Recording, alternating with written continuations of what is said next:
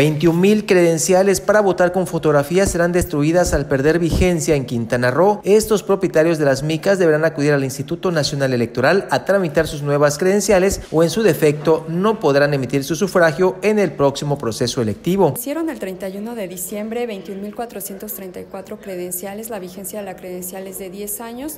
Estas credenciales evidentemente ya no tienen vigencia. Cuando el ciudadano las quiere ocupar en cualquier trámite le van a decir que no es vigente. Y entonces estamos haciendo el llamado a la ciudadanía para que acuda a los módulos de atención ciudadana a hacer su reposición o su cambio de credencial. Necesitan, son tres requisitos comprobante de domicilio con una antigüedad eh, no, mayor a tres meses, identificación oficial con fotografía, vigente también, y un acta de nacimiento. En caso de que no cumplan con alguno de estos requisitos, pueden llevar dos testigos con su credencial para votar con fotografía, uno de los cuales debe ser de la sección correspondiente. Como es rápido y sobre todo es la, la opción que existe de sacar la cita a través de la página del INE, www.ine.mx, o a través del número 800 433 2000.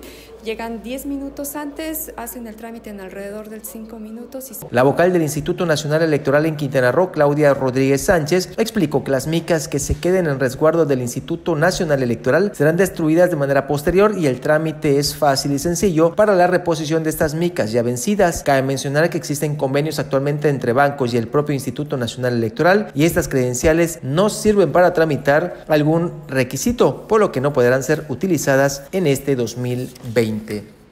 Para Notivisión, Juan Pablo Hernández.